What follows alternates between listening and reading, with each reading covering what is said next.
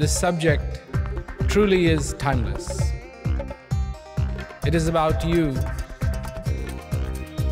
It is about being alive. It is about discovery. It is about feeling.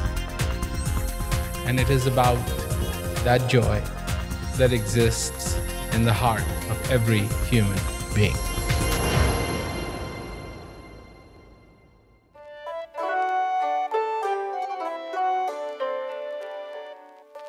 Once there was a very, very poor man who came across an abandoned farm. He saved up his money whatever he could and bought it. He worked, and he worked, and he worked. He sowed his crops and reaped them. And he made a beautiful farm. Finally, the land started producing bumper crop after bumper crop season after season. And each time there was a crop, he would sell it and save the money he made. He would save and save and save. After a few years, he became quite wealthy. So he took the money that he had saved and bought gold. Then he put the gold in a box. The man then decided to bury the gold on his farm.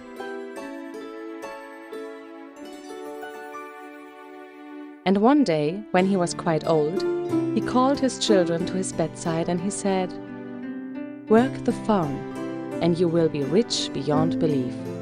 But work the farm. And when he died, his children thought, This crazy man, he spent all his life on the farm. We're not like him. We want to go to town, have a business, and do many things. So they abandoned the farm, moved to town, and tried to earn their living. They tried, and they tried, and they tried, but they remained very poor. One day, a man who was also very poor came and asked, Would you please sell me your farm? This is all the money I have. And the eldest son said, a little bit of money is worth a lot more than nothing, so yes, you can have the farm. And he sold it. Now this man worked the farm, and guess what happened? One day, as he plowed the field, he found the box filled with gold. Within us, there's also a farm. It may be a neglected farm, but it is a farm. And in this farm is a field and in the field lies a buried treasure.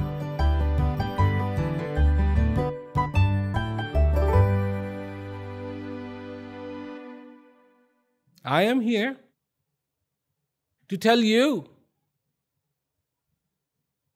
such a treasure is buried within this field. But you must plow this field.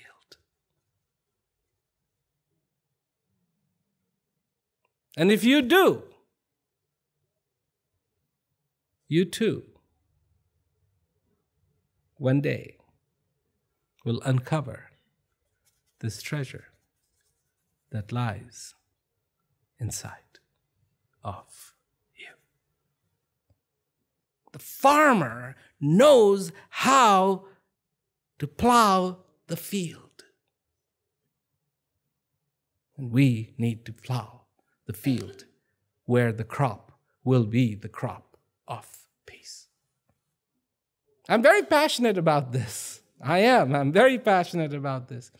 And I wouldn't be so passionate if I don't see a change being made. Slowly, more and more people are recognizing this need and joining and more people are saying on the face of this earth, in millions, of course, the population is 7 billion, but at least it's in millions that people are saying it can be done. We live our lives, we have our jobs. Some days things are good, some days things are not so good. Some days it feels like you're dragging, you're dragging, you're dragging, you're dragging. Some days it feels like you're flying a little bit till you hit a wall, then you go, okay.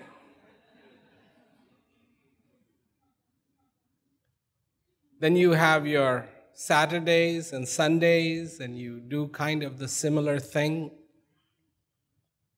And then Monday comes, and then you do the same thing, and then the Tuesday comes, and it does the same thing. Till one day, your cake, your birthday cake, has too many candles. And it's hard to blow out. That's the day you change the rule. Only one candle, please. It's too many. Then you begin to realize that life is passing by very quickly. And have you truly accomplished what you want to accomplish? And in this world, there's only two ways to survive. Only two. One is that you find that joy, that you find that beauty, that you find that wonder. That fills your heart. Or suppress the feeling. Suppress the feeling. Learn to live without wanting happiness.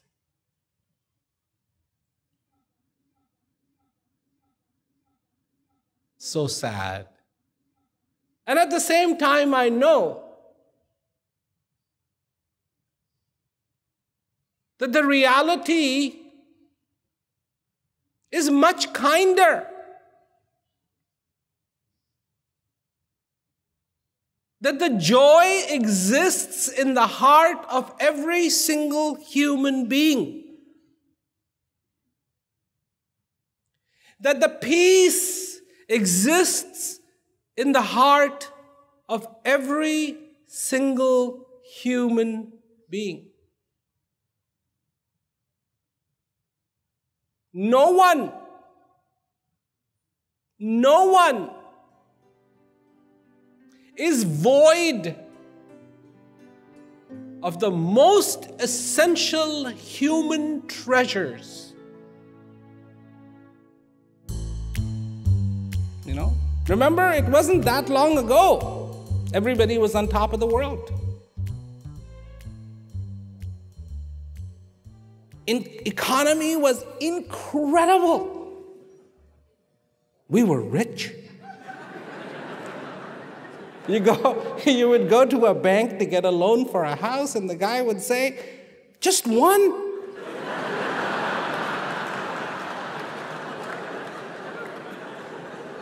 Why don't you apply for two? And I mean, there were people with three properties, four properties that couldn't even take care of a punctured tire. But they were rich. Everybody was rich. Everybody, oh, I have to go there. I have a house there. I have to do this. I have to do. And then,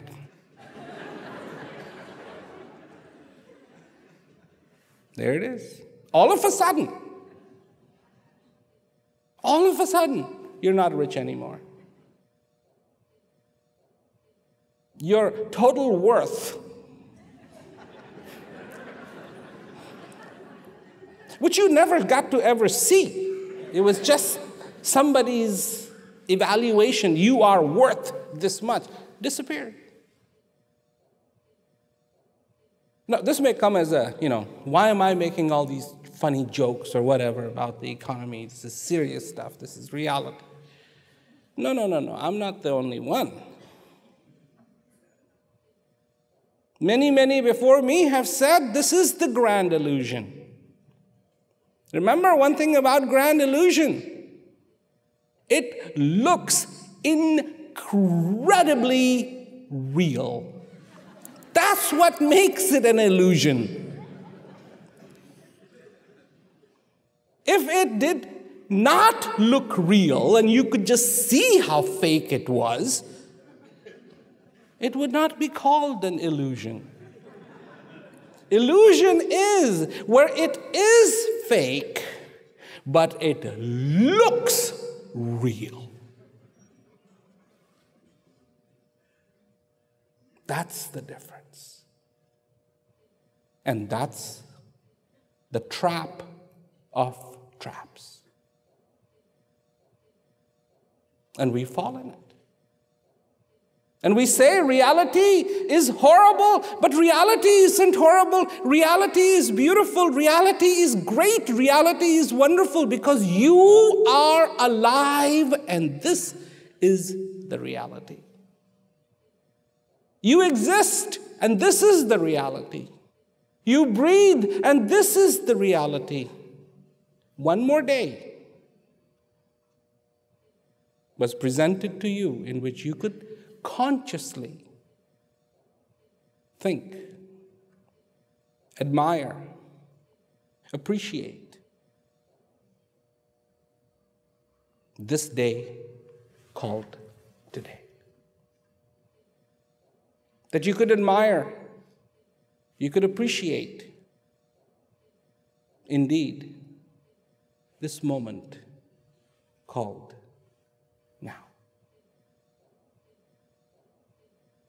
Be in that simplicity. Prosper? Yes. Be in that peace? Yes. Be in that dignity? Yes. And the good news is, all that you thought that you had lost, it's still coming. It's still coming. It's still coming. It's still coming. Prepare to gather this time. That's all.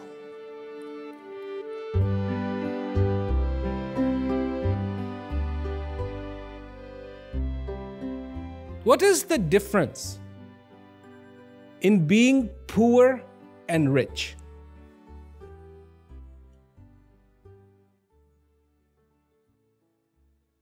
What is the difference? Or,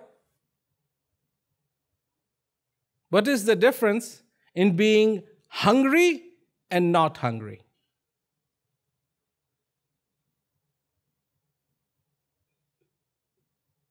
I'm asking you this question because it's an interesting question.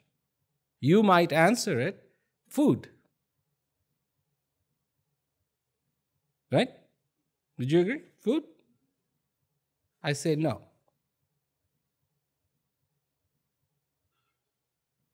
I say no. Food in the stomach is the difference between being hungry and not hungry.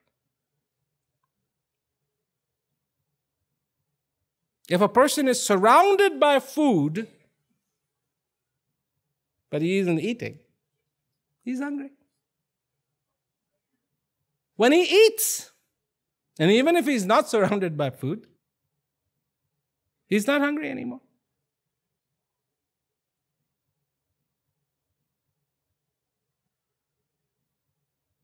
Same way.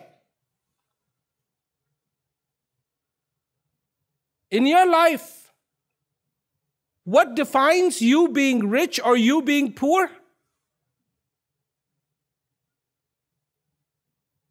Is knowing what you have. If you have all the wealth in the world, you could be sitting under a gold mine, but you don't know it.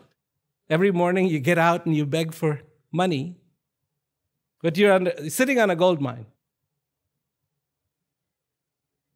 So are you rich or are you poor? Somebody gives you a piece of glass You go, ha, piece of glass. Just my luck, piece of glass. You throw it away. Somebody comes along, walking by, goes, wow, a beautiful uncut diamond. I'm rich. Recognition. One was able to look at that and say, This is an uncut diamond. And the other one just said, Oh, it just looks like a piece of glass. I don't want somebody to get hurt.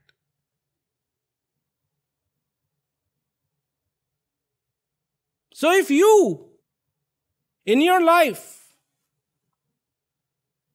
want the wealth, the riches that have been given to you,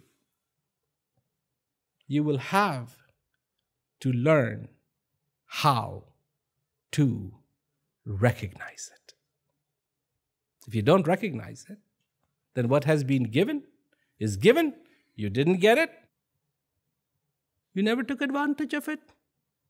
And so goes the saying empty handed you came, and empty handed you shall return.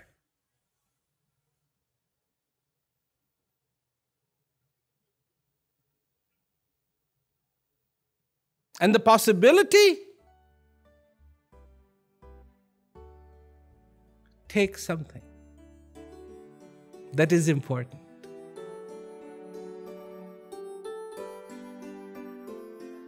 So now the question becomes Are you rich?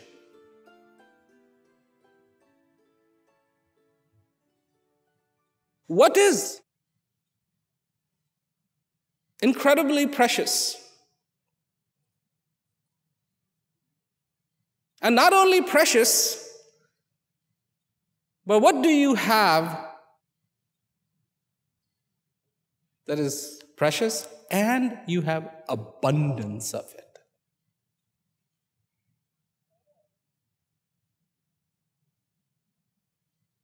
There is something. And it's not dollars, and it's not diamonds, It is another kind of wealth. And one thing that is incredibly precious is this breath that comes in and out of you. And not only is it precious, here's the beauty it comes in abundance. Not just one, dead. Because that wouldn't make you rich. The two things, the two tests that it has to pass precious and abundant. There is one thing that qualifies. Every human being that is sitting in this hall, outside of this hall, in this world, everyone has this. And it is the most beautiful gift. This life is the most beautiful gift that we have been given. Recognition. Recognition of what you have been given. Recognition of this life. Recognition of being alive. This is how you celebrate. This is how you celebrate. To celebrate in gratitude. To celebrate in most simple way. And breath is the, isn't the only gift that you have been given. It isn't. There is another gift, and another gift, and another gift that you are rich in. And you need to understand the richness of all of that. Peace also has been placed inside of you. And not only is it precious, but there is abundance of it to last for the rest of your life. Rest of your life. That's not, if that isn't enough you have also been blessed with love. You've also been blessed to look, to see, called admiration. Do you realize these are incredibly powerful things? Yes, there are problems in the world. But the point is, amongst us, within us, lies the solution to those problems. It is indeed a privilege to be in the company of those who admire peace. It is a privilege to be in the company of those who want peace not only for this world, not only for the mankind, but also for themselves. Give people that hope. Give people that understanding. I do it my way. And the way I do it is telling people what they already know. That what they're looking for is inside of them. And when people find and begin to look within them, they do not see ugliness, but they see a simplicity and they see a beauty. Find that beauty inside of you. Because believe me, that's where it is. Dig for the treasure till you find it. Because it's there, within, inside of you. Seek and find and seek till you have found. Do not take no for an answer. Dig, dig, dig till you find.